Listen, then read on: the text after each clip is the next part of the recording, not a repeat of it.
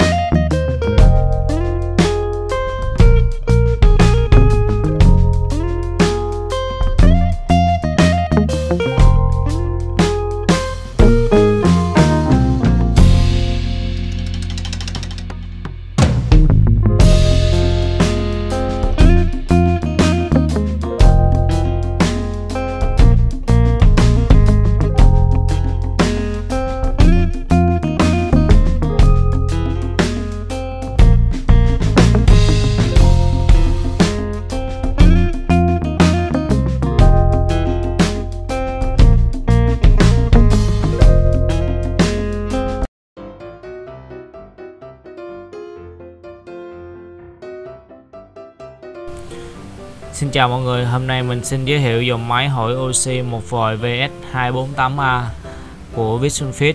Máy này có công suất là 3W nha mọi người. Lưu lượng sử dụng của máy là 3.5 lít một phút. Phía bên hông đây là nhà sản xuất hướng dẫn ta cái cách đặt máy. Mọi người nên đặt máy ở phía trên mặt nước và ở ngoài hồ, không được đặt ở trong hồ cũng như là đặt ở phía dưới mặt nước Ờ, ở phía dưới đây có nghĩa là cái máy thấp hơn cái mực nước. Bởi vì lúc này nước có thể chảy ngược vào máy làm hỏng máy của chúng ta.